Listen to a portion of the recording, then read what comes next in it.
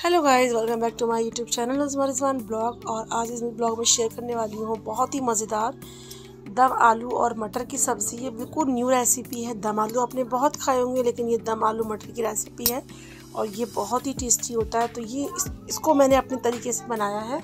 तो ये रेसिपी एक बार ज़रूर ट्राई करें और अगर आपको पसंद आए तो मेरे चैनल को लाइक शेयर सब्सक्राइब ज़रूर करें। तो चलिए वीडियो करते हैं स्टार्ट बहुत सिंपल सी रेसिपी तो ये सिंपल सी रेसिपी जो है ना, ये बहुत ही ज़्यादा टेस्टी है अगर आप कभी भी आप बनाएँगे साथ में, इसके साथ में आप पूरी बना सकते हैं, रोटी बना सकते हैं, पराठे बना सकते हैं, सभी के साथ में खाने में बहुत ही मज़ेदार। तो चलिए वीडियो करते हैं स्टार्ट आज हम बहुत ही मज़ेदार सब्ज़ी बनाने वाले हैं। तो इसे बनाने के लिए मैंने यहाँ पे बॉयल आलू लिए हैं तो यहाँ पे एक किलो आलू लिए जिनको मैंने उबाल के छील लिया है। और छीलने के बाद मैं इसमें कट लगा दूँगी इस तरीके के तो आलू यहाँ पे जो है अच्छे से उबले हुए हैं। तो यहाँ अब इनको छील के कट लगा देती हूँ। इसके पीसेस थोड़े छोटे ही रखेंगे हम, ताकि जो मसाले हम इसमें ऐड करेंगे ना, वो अच्छी तरीके से इसके अंदर तक ऐड हो जाए। तो सारे आलू मैंने इस तरीके से कट लगा दिए हैं, और बहुत ही अच्छी रेसिपी है, ये बहुत ही सिंपल रेसिपी है। तो इस तरीके से आपने कभी नहीं बनाया, जैसे मैं बता रही हूँ आपको ये रेसिपी तो पीसेस हम छोटे कर लेना है, और बस उसके बाद हम इसके लिए ग्रेवी तैयार करेंगे। तो चलिए, अब मैंने इसे बनाने के लिए कढ़ाई ले ली है। कढ़ाई में डाला है सबसे पहले तेल। तेल मैं इसके अंदर डाल रही हूँ करीब दो टेबल स्पून थोड़ा सा तेल ज़्यादा ही पड़ता है सब्ज़ी में।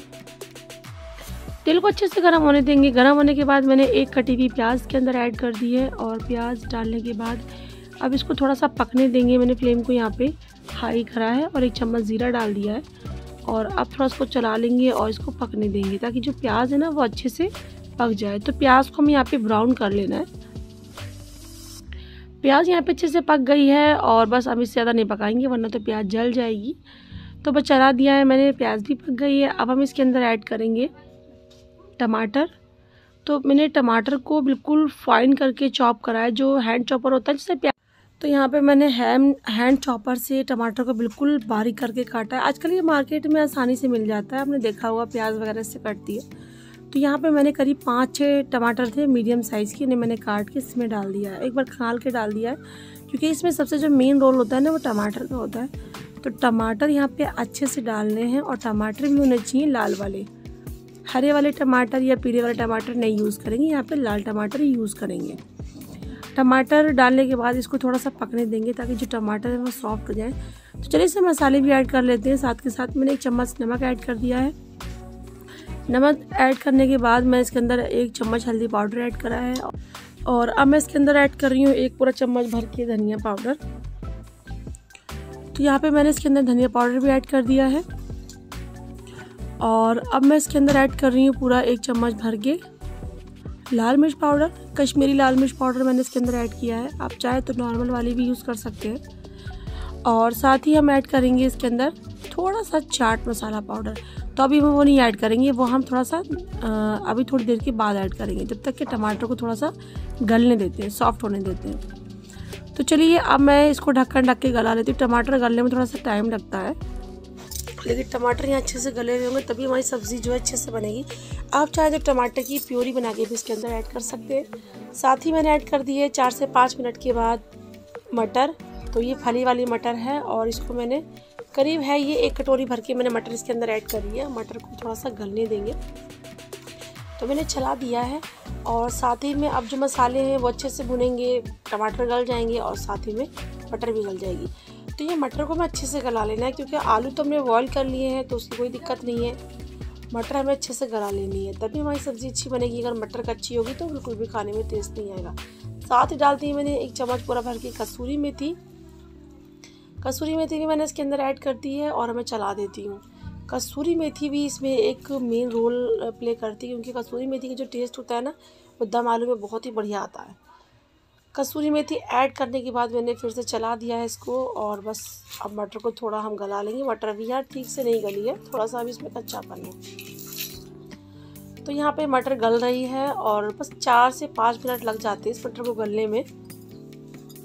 साथ ही मैंने ऐड कर दिया है एक चम्मच पूरा भर के चाट मसाला पाउडर। चाट मसाला पाउडर की जगह पे आप अमचूर पाउडर भी ऐड कर सकते हैं। और अब मैं इसको मिक्स कर देती हूँ अच्छी तरीके से। तो यहाँ पे हमने इसको मिक्स कर दिया है और जो मटर है ये भी अच्छे से गल गई है, मैंने चेक करा यहाँ पे। तो ये हमने चेक किया है तो मटर जो है अच्छे से गल गई है। तो मटर जो है सॉफ्ट होना चाहिए बिल्कुल। तो गल गई है तो हम क्या करेंगे कि इसके अंदर आलू ऐड करेंगे। आलू पहले से बॉयल है तो उसको हमें गलाने की ज़रूरत नहीं है। तो मैं इसके अंदर ऐड कर रही हूँ दो गिलास पूरा भर के पानी। मैंने भी एक गिलास पानी ऐड कर दिया और एक गिलास पानी में और ऐड कर रही हूँ। तो टोटल पानी मैंने इसके अंदर ऐड करा है दो गिलास और अब इसमें हल्की सी खौल आने देंगे और आलू ऐड कर देंगे। तो इसमें फ्लेम को मैंने हाई करा है और इसमें खौल आ गई है। बस फ़ौरन ही आलू ऐड कर देती हूँ।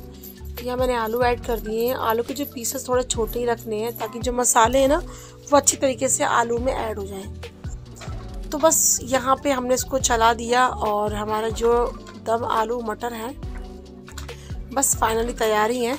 बस लेकिन इसको हमें एक खौर लगा लेना है ताकि जो भी मसाले इसमें हैं, वो अच्छी तरीके से आलू में मिक्स हो जाए। तो हम इसमें एक से दो खौर लगा लेंगे हाई फ्लेम पे। फ्लेम को मैंने यहाँ पे हाई रखा है और इसमें खोल आना स्टार्ट हो गई है। तो ये देखिए, बहुत ही सिंपल सी रेसिपी है, लेकिन बहुत ही मज़ेदार रेसिपी है। तो यहाँ पे ढक्कन ढक के इसको पका लेंगे ताकि जल्दी से खोल आ जाए और दो खोले हमें कम से कम लगानी इसको हाई फ्लेम पे और उसके बाद हम फ्लेम को बंद करेंगे। तो चलिए ढक्कन ढक के हम इसमें दो खोल लगा लेते हैं।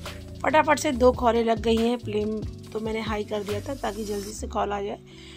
और ये देखिए, इसकी जो थिकनेस है वो थोड़ी सी बढ़ गई है। आलू में अच्छे से मसाले भी मिक्स हो गए हैं और मटर भी हमारी अच्छे से गली हुई है। तो सब्ज़ी हमारी बन के बिल्कुल तैयार है, इससे ज़्यादा हम इसको नहीं भूनेंगे। अगर ज़्यादा भूनेंगे तो और ज़्यादा ये चीज़ें सूख जाएगी बिल्कुल। तो इसमें डाल दिए हमने धनिया के कटे हुए पत्ते और हमारी सब्ज़ी बन के बिल्कुल रेडी हो गई है। अब हम चला देंगे, इसको मिला देंगे और फ्लेम को कर देंगे बंद। तो यहाँ पे हमारी सब्ज़ी बनकर रेडी हो गई है तो चलिए हम इसको सर्व कर लेते हैं। और बहुत अच्छी रेसिपी है, बहुत ही सिंपल रेसिपी है। तो मैंने फ्लेम को यहाँ पे कर दिया है बंद। अगर आपको रेसिपी पसंद आई हो तो प्लीज़ मेरे चैनल को लाइक शेयर सब्सक्राइब ज़रूर कर ले। बेल आइकन प्रेस कर दें, ताकि मेरी आने वाली हर वीडियो सबसे पहले आप तक पहुँच सके। मिलेंगे दूसरे वीडियो में। जब तक के लिए अल्लाह हाफिज़, खुदा हाफिज़। Thank you bye